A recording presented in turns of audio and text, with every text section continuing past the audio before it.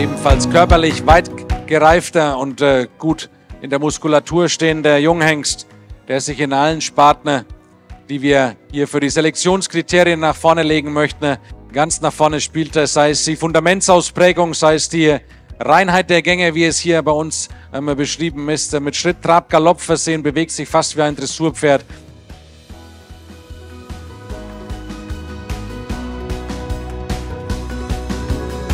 Im Springen in äh, mustergültiger Art und Weise mit ganz viel Vermögen, Elastizität, Vorsicht ausgestattet.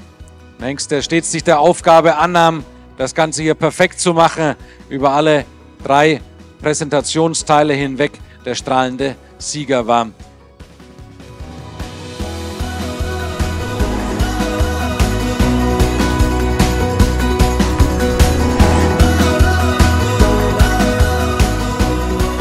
Wir gratulieren herzlich Züchter und Ausstellern.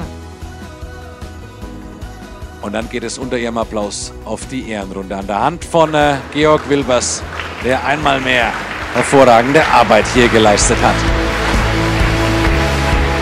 Ab geht's!